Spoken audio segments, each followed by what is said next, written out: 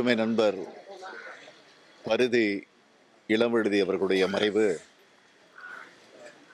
ஒரு மிகப்பெரிய துயரத்தை எனக்கு குறிப்பாக திராவிட முன்னேற்றக் கழகத்திற்கு ஏற்பட்டிருக்கிறது என்று சொன்னால் அது மிகை அல்ல காரணம் திராவிட முன்னேற்றக் கழகத்தினுடைய துணை அமைப்புகளில் ஒன்றாக இருக்கக்கூடிய இளைஞரணி தொடங்கிய நேரத்தில் அவர் ஆரம்ப காலத்திலிருந்து என்னோடு இருந்து அந்த இளைஞரனை வளர்வதற்கு துணை நின்றவர் என்பது குறிப்பிடத்தக்கது. சிறு வயதிலேயே திராவிட முன்னேற்றக் கழகத்தில் தன்னை இணைத்து கொண்டு என்னோடு நெருங்கி பழகி கழகம் நடத்திய அனைத்து போராட்டங்களில் ஈடுபட்டு என்னோடு ஒவ்வொரு முறையும் சிறைக்கு வந்தவர் நண்பர் பருதி இளவழுதி அவர்கள்.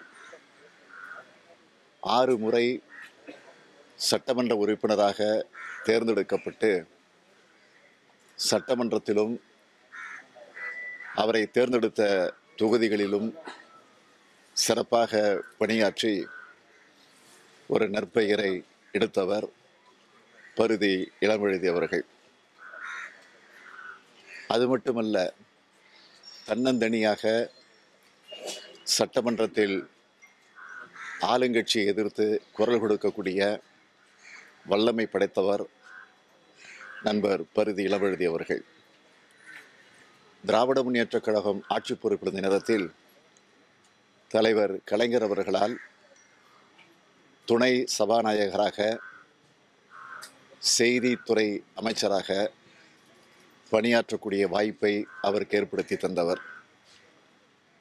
இன்னும் சொல்ல வேண்டும் என்று சொன்னால் தலைவர் கலைஞர் அவர்களால் இந்திரஜித் என்றும் வீர அபிமன்யு என்றும் பாராட்டை பெற்றவர் நண்பர் பருதி இளவழுதி அவர்கள். இன்னும் வெளிப்படையாக சொல்ல வேண்டும் என்று சொன்னால் அவர் சில நேரங்களில் அரசியல் சூழ்நிலையின் காரணமாக அல்லது குடும்ப சூழ்நிலையின் காரணமாக தடுமாறுகிற நேரத்திலே கூட தலைவர் கலைஞர் அவர்கள் அவர் மீது வைத்திருந்த அன்பை பாசத்தை நாங்கள் என்றைக்கும் மறந்துவிட மாட்டோம். அவர் பருதி இளமெழுதி தலைவர் கலைஞர் அவர்கள் ஒரு செல்ல பிள்ளையாகவே வைத்திருந்தார் என்பது குறிப்பிடத்தக்கது.